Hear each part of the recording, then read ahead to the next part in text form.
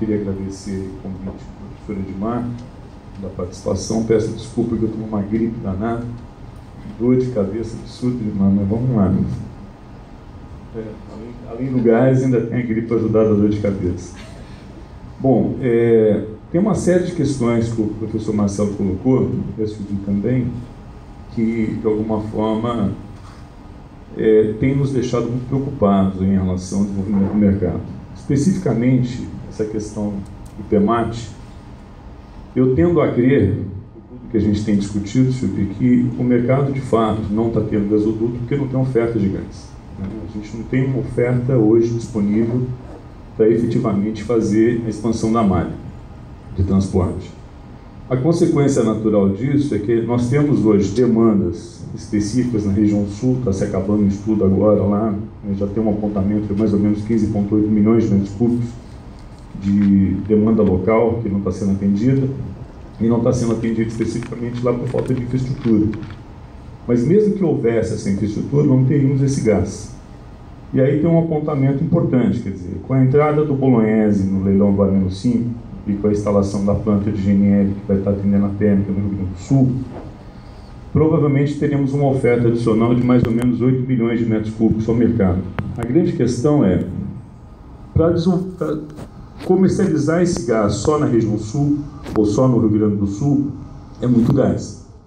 A gente está falando de um volume mais ou menos de 40, 45 milhões de metros cúbicos de gás hoje no mercado não termoelétrico, e é um volume que a gente demorou mais ou menos quase 15 anos para fazer esse mercado. Quer dizer, eu já substituí uma boa parte da indústria, para não dizer quase toda, né? E, e, deslocar outro energético hoje no mercado brasileiro é bastante complicado. A gente tem um GLP que está subsidiado há mais de 10 anos. A gente tem um óleo combustível que, com muito custo, aí, teve uma, um reajuste de mais ou menos 15%. O gás, a cada, a cada trimestre, praticamente, a Petrobras vem reduzindo aquele volume de desconto que o professor Marcelo comentou. Então, a gente cada vez mais está perdendo a competitividade. E alocar esse gás no mercado hoje, eu de fato preciso ter infraestrutura e, consequência disso, preciso ter preço. E aí tem um outro ponto importante, quer dizer, para eu deslocar alguns outros segmentos, eu preciso estar com o SWAP operacionalizado. Mesmo que a ANP publique dentro do prazo determinado, que ela já falou que provavelmente final agora do mês estaria soltando uma primeira versão dessa, dessa regulamentação, eu vou ter um problema tributário, que eu acho que é o mais crítico de tudo. Né? Independente de eu ter a, a, parte técnica resolvida, eu tenho a questão tributária a ser resolvida, porque o gás, o, o ICMS interestadual, ele vai impactar diretamente no custo desse gás na transação. Fora todas essas questões que a gente já levantou, hoje eu tenho condições de alocar mais ou menos 4 milhões de metros de gás no mercado. Por que, que eu não aloco esse gás? A SEG, a Congás, algumas companhias do Nordeste têm condições plenas de atender esse mercado. Então, Marcelo, eu, eu na verdade não, não, concordo muito com o que você falou com relação a, a, a, gente não ter condições de dar contrato. A gente tem condições de dar contrato, a gente não tem preço. O problema é esse. A indústria pode hoje, por, por exemplo, a cogeração na indústria vidreira ou na indústria de cerâmica, ela pode seguramente alocar perto aí de 15 milhões de metros cúbicos de gás. A grande questão é que não é competitivo. A gente não consegue ser competitivo e fora todas as barreiras técnicas que a gente enfrenta junto à ANEL na hora que a gente vai de fato desenvolver a questão da cogitação. Já está havendo um certo sinal do próprio governo, até por uma questão de custo, né? mesmo com essa história de baixar o PLD numa canetada para 300 e poucos reais, que eu não acredito que vai acontecer, porque mesmo que abaixo você não tem oferta, como é que funciona isso? Não consigo entender isso, mas de qualquer forma existe uma proposta é, a dependência do gás do setor termoelétrico e a necessidade direta de você ter o gás aí atendendo as termoelétricas por questões óbvias que a gente está vivendo hoje, não é ruim. A grande questão é qual é o custo desse gás para o mercado não termoelétrico. Né? Você vê que esses dois projetos do Bolognese aí seguramente vão ofertar perto de 16 milhões de metros cúbicos de gás novo para o mercado. Isso não é ruim, é bom. A grande questão na termoelétrica hoje suprida pelo GNL é que não tenho uma infraestrutura de armazenamento. A consequência natural disso, a Petrobras é obrigada a comprar esse gás no spot e paga esses custos que a gente vê, 17, 14, 15, 20, 22 dólares no IPTU, como chegou na térmica de Uruguaiana. Isso tudo impacta no mercado termoelétrico, quer dizer, o mercado não termoelétrico, esse mix de preços que ele é obrigado a fazer vai para o mercado não termoelétrico, consequência disso a gente não tem condições de competitivo. Hoje, se você vai ao governo federal e fala de algum programa de incentivo, por exemplo, o GNV, né, Gás Natural Veicular, era um mercado que vinha crescendo 20% ao ano. Num dado momento, por questões óbvias aí, de testes de termoelétrico, descobriu-se que não tinha gás para atender o mercado termoelétrico e o mercado não termoelétrico ao mesmo tempo. E aí houve todo um desincentivo para o governo em cima do programa, que na verdade nunca teve um subsídio de fato. Ele sempre foi um programa que cresceu pela própria competitividade do negócio. E os postos de GNV para nós, distribuidoras, eram bom âncoras na expansão da malha de distribuição. Os postos chegaram a consumir perto de 10 mil metros cúbicos de gás dia.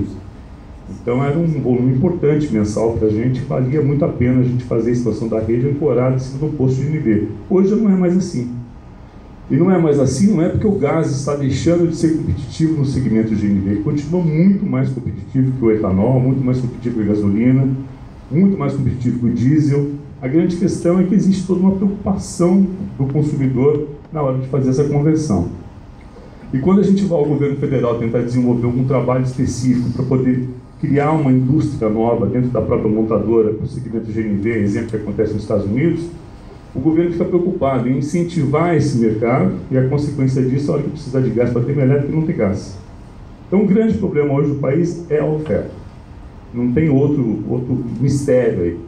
Está faltando gás, não que não esteja, não exista contratos, existem os contratos, as distribuidoras têm plena condição de atender os seus mercados, a grande questão é que não consegue fazer uma expansão por falta de oferta. E o governo, por sua vez, olha o PEMAT nesse contexto eu ainda acho que o PEMAT deveria ser um extrato do PDE. Quer dizer, a hora que eu pensar o plano decenal de energia, a consequência natural é ter a malha de transporte de gasoduto. Questão de escoamento, o professor Marcelo comentou, é um outro problema sério que a gente vive. Quer dizer, existe um outro projeto, que é o Rota 4, né, que o Grupo Gozan está olhando esse projeto. Eu não sei exatamente os detalhes dele, mas está bem adiantado. Mas se fala em alguma coisa perto de 15 milhões de metros cúbicos de gás para o mercado com essa Rota 4. É, com todos esses problemas do CO2 que a gente está ouvindo falar em relação ao pré-sal, existe também um outro volume de gás, que é o gás da partilha. Né? Quer dizer, o que, o governo vai fazer com a cota dele? Vai ofertar esse gás ao mercado? Vai fazer leilões para baixar preço? Como é que ele vai escoar esse gás? Ele vai entregar para a Petrobras esse gás a qualquer preço para a Petrobras transportar para o mercado consumidor? Então essas coisas ainda ficam meio escuras, a gente não sabe exatamente o que de fato vai acontecer. E um outro problema que a gente está começando a olhar um pouco mais aí, os contratos da partilha, de uma forma geral, eles não dão nenhum incentivo à produção de gás. Incentivo, primeiramente, o óleo. Então a gente precisa olhar um pouco isso também. Quer dizer, o governo tem interesse de fato em incentivar esse mercado, porque o gás hoje tem um papel importante na matriz. Hoje a gente já está perto de 13% da matriz energética, né? há pouco tempo atrás era 3, e a tendência é que isso aumente. Então o governo precisa fazer um plano indicativo de incentivo ao mercado e mostrar claramente qual é a participação do gás natural na matriz energética nos seus segmentos de consumo. Uma outra questão que o Marcelo colocou, que eu acho bastante importante, é essa questão da harmonização das regulamentações, né, Marcelo? Quer dizer, por que, que isso não acontece? São Paulo e Rio, o mercado já existe, já são os consumidores livres, já existem os consumidores. Por que, que não há a figura de fato, do consumidor livre, no Rio de Janeiro, que é uma térmica, a térmica de Santa Cruz, que é a única, né, é consumidora livre. Porque todos esses possíveis consumidores vão ter que negociar os contratos aonde eu vou negociar da mesma forma. Quer dizer, qual é a vantagem de um pequeno consumidor de perto de 100 mil metros cúbicos de gás e na Petrobras negociar um contrato? Se eu consumindo 40 milhões não consigo preços competitivos, imagina ele com 100 mil. Né? Então esse é o grande problema. A hora que eu a ter mais ofertante de gás no Citygate, o mercado vai saber naturalmente. Vai ter autoprodutor, autoimportador, vai ter tudo que tiver direito. A grande questão é por que, que não tem essas seguras, né? A gente tem aí grandes segmentos de indústria que poderiam claramente, com a Vale do Rio Doce, uma Gerdau, fazerem as suas plantas e se tornarem autoprodutores tranquilamente. E eu, como distribuidora, teria total interesse em comprar esse excedente dela. A grande questão é que a gente não vê esses movimentos acontecendo, porque de fato não existe o gás barato, como todo mundo fala. Existe o gás barato lá nos Estados Unidos para quem for consumir lá nos Estados Unidos. Talvez daqui a pouco a gente comece a ter um outro cenário de preço, mas por enquanto isso está acontecendo. Um outro ponto importante também é o seguinte: o, o petróleo batendo aí a 69 dólares barril, como está batendo agora, e a tendência, é, tanto do Brent como da WTI, é que de fato sofre uma pressão muito grande dos Emirados Árabes, aí, que estão numa disputa de preço agora para tentar equilibrar essa conta e ver até onde os Estados Unidos conseguem ir com o preço dele, né? E os árabes estão muito ansiosos para ver o ponto de equilíbrio desse preço lá fora. O petróleo tem um, tem um peso importante na, na, precificação do gás. Né? Quer dizer, a fórmula paramétrica do gás hoje de precificação do gás, um dos itens é o petróleo. Então, se está caindo, precisa cair o preço também. Por que, que não está caindo? Não consigo entender isso também. Isso é uma pergunta que a gente fez à Petrobras, não tivemos resposta ainda. Mas o fato é que precisa cair esse preço. Eu acho que esse preço, mesmo que o TQC, o gás boliviano, caia agora na sua revisão contratual, é, é importante ter essa sinalização também para o mercado nacional. Quer dizer, a gente não está vendo essas questões acontecerem de fato. E aí, para encerrar um pouco essa conversa, quer dizer, a gente tem uma produção muito grande, quer dizer, tem uma, uma sinalização de uma produção muito grande do gás interno.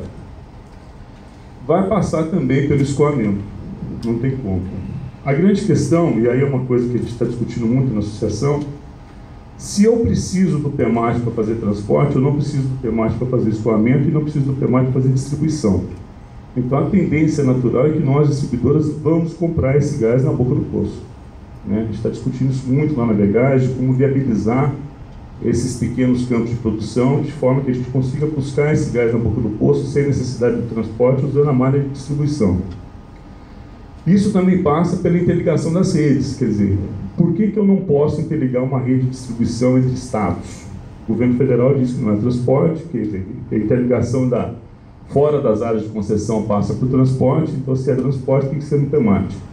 Mas eu acho que pode discutir uma flexibilização dessa questão do temático. Posso talvez não fazer uma grande rede ou um gasoduto de transporte equivalente, mas fazer uma integração de tal forma que eu consiga capilarizar cada vez mais o suprimento e escoar esse gás.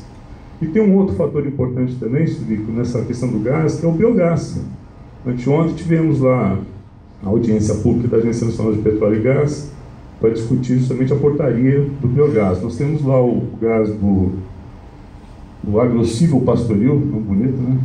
Agrocível pastoril, e temos o gás de aterros sanitários. O aterro sanitário tem uma particularidade lá, que é a questão do siloxano e alguns metais pesados, que está se discutindo como purificar esse gás para que a gente possa colocar ele na rede. Mas resolvido esse problema, que eu acho que é um problema relativamente simples de fazer, questão custo, é, nós vamos ter condições de, segundo a biogás, ela fala em 100 milhões de metros cúbicos de gás. Que não seja os 100 milhões, seja 20% é uma Bolívia. Né? A grande questão é a pulverização desses polos de produção. Então, quer dizer, eu vou ter que também fazer algum hub para interligar esses pontos todos para levar esse gás para o centro de consumo. A maior vantagem que eu vejo disso tudo é que é um gás interiorizado já. Né? Ele já está, na, na maioria das vezes, na área rural. Então, a, a, a, interiorização desse gás nos pontos de consumo é muito mais rápido, muito mais fácil. E a gente consegue viabilizar ele de forma muito rápida. Então, esses pontos todos que eu estou colocando para vocês é o seguinte: o, o cenário final, uma visão de, de encerramento da minha parte, é, a gente precisa de fato trabalhar o aumento da oferta. Sem aumento da oferta, a gente não vai ter mercado. E precisamos trabalhar esse aumento da oferta pensando no mercado consumidor, porque, de novo, a gente demorou praticamente quase 20 anos para fazer o mercado que a gente tem hoje. Qualquer 10, 15 milhões de metros cúbicos de gás eu não aloco de uma hora para outra. Ou eu crio uma política de incentivo para o mercado, é, a cogeração, que é uma demanda extremamente importante. O horário de pico de consumo hoje mudou, não é mais no horário do pico do horário de verão o horário de pico de consumo hoje é duas horas da tarde com os ar condicionados ligados pelo vapor. Né? Então, acho que a substituição desse sistema de ar-condicionado por gás natural também é fundamental, é um volume importante que a gente consegue alocar. E eu acho que a gente consegue fazer um trabalho desde que planejado com o governo. Né? Não tem como pensar nesse negócio fora do governo. E a questão da Petrobras especificamente, quer dizer, a Petrobras, ela, ela, eu não posso imputar a ela apesar dela ser a única supridora, mas eu não posso imputar a ela a responsabilidade de dar descontos do preço do gás. Ela tem que valorizar os ativos dela. O que falta é uma política do governo federal para o negócio de gás. É, o que a gente está vendo nos Estados Unidos em relação à precificação, em relação ao mercado, em relação à distribuição, quer dizer, a capilaridade da malha que existe lá é uma coisa absurda. É um milhão e meio de quilômetros, perto de 20 mil quilômetros no Brasil hoje. A gente tem um mundo de coisa para fazer. A gente deveria seguramente hoje estar aí perto de uns, uns 10 mil quilômetros de, de, de transporte, deveria estar perto dos 50, né, interiorizando. A distribuição deveria estar pegando 100, 150, quer dizer, a gente está nem perto da Argentina ainda, a gente tem muita coisa para fazer. A grande questão é a oferta. Eu acho que esse é o ponto principal, a gente precisa de fato trabalhar essa oferta, seja ela de onde for, dar incentivo à produção, desonerar a cadeia de produção, ver essa questão do PIS-COFINS, o rate está aí, eu não sei porque a gente não está conseguindo usar o rate, o rate já desonera PIS-COFINS na produção inteira, quer dizer, qualquer investimento que possa ser feito para a indústria de petróleo hoje, se utilizando o rede, pode zerar o PIS-COFINS. Precisamos discutir essa questão do ICMS, principalmente na questão interestadual, eu acho que é o ponto crítico na questão do SWAP, e considerando que a gente vai ter esses dois projetos nos extremos, né, Pernambuco e Rio Grande do Sul, a gente vai ter uma oferta de gás, que o SWAP seria bastante importante para fazer esse escoamento. A gente tem conversado muito com o Fórum de Secretários de Energia para tentar trazer esse tema para discussão e os secretários encamparem. Bem verdade o momento agora está um pouco complicado, com a mudança de governo está acontecendo, secretários seguramente muitos virão mudar. Mas eu acho que a questão é essa, a gente precisa trabalhar de fato o aumento da oferta. Esse eu acho que é o ponto crucial para a gente trabalhar e expandir mais o mercado. Obrigado.